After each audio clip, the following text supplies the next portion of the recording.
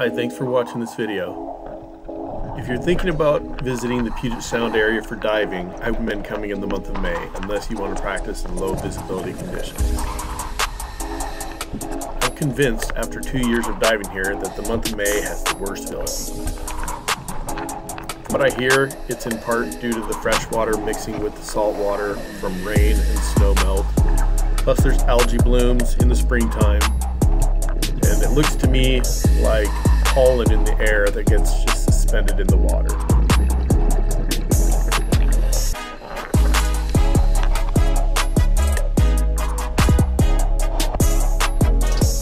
Today's video is a combination of two different dives from two different locations. The visibility was so bad on both dives that the footage didn't turn out very well for the most of it.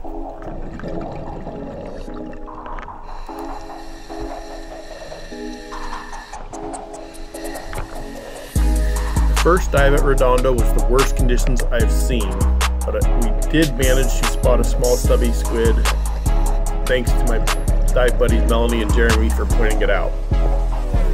Even though the visibility was pretty poor at 80 feet, it was still cool to see this stubby squid and the video turned out okay because I was able to get up pretty close.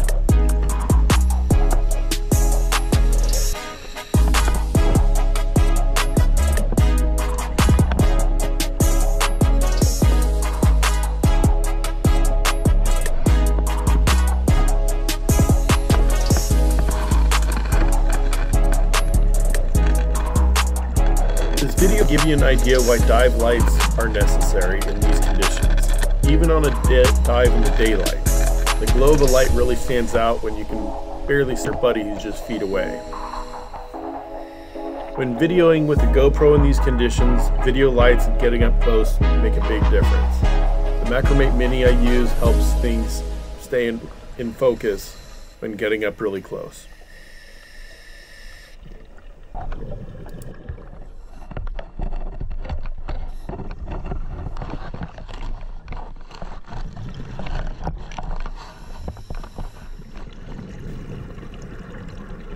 The visibility at Redondo was so bad, I thought it was kind of funny and entertaining just how bad it was. At times I couldn't even see one foot.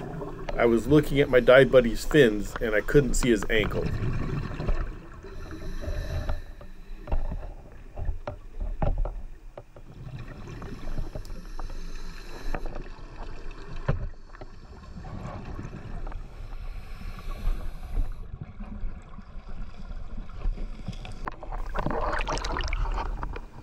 The next dive is at Three Tree Point. It was a really windy night and it was a high tide.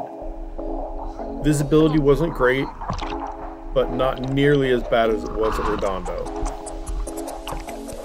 Jack and I saw a lot of flounder, a chimera, also known as a ratfish, and a little octopus.